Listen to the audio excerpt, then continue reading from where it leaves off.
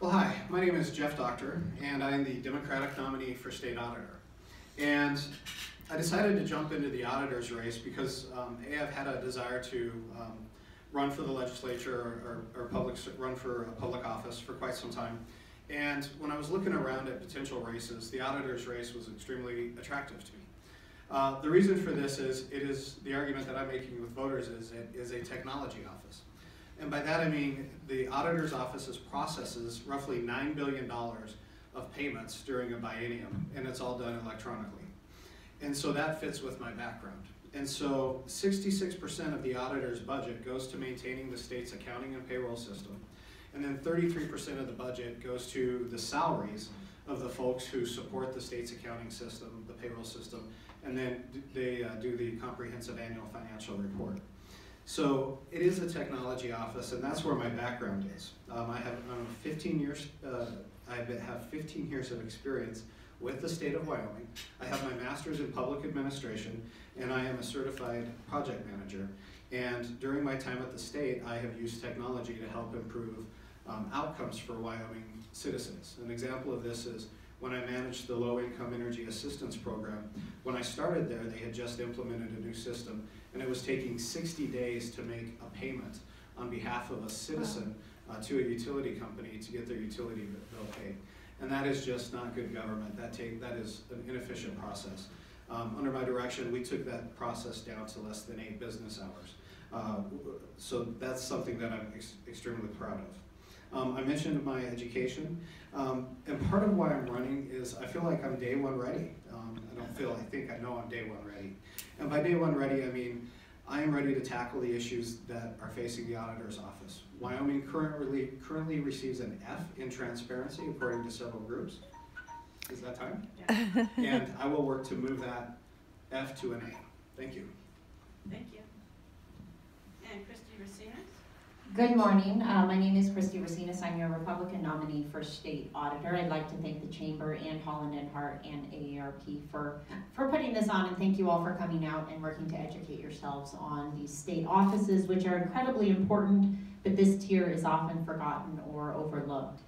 So I'm running to be your next state auditor because I believe in a government that is efficient, effective, and accountable to the people. Um, a little bit about me, I was born and raised here in Wyoming, Casper, Evanston, but mostly Riverton. I'm an RHS grad. Uh, went down to UW and have an accounting degree from there. Uh, after school, I came to work for a public accounting here in firm here in Cheyenne. I did earn my CPA, which I keep active to date. I worked on all different sorts of audits, governments, small businesses, not-for-profits. Um, and what you really have to do as an auditor is become a subject matter expert on whatever you're looking at. So my current role, I'm also a state employee. I'm the CFO and Director of Human Resources for the state's judicial branch. In that role, I manage and prepare uh, approximately an $80 million budget, manage all the expenditures on the back end, and oversee the HR functions for about 340 employees.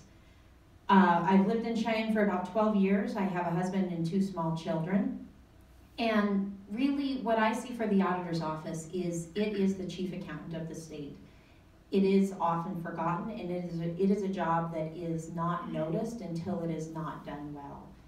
An entity, small or large, whether it be a lemonade stand or up to our entire state government, cannot operate, cannot move forward unless it has its fiscal house in order, providing accurate, timely, reliable information to our citizens, to our lawmakers, and just doing that job well is the role of the auditor. Under time, all right. Timer set. well, I am Ed Buchanan. Uh, I currently serve as uh, your 22nd Secretary of State. I was appointed by Governor Mead on March 1st of this year.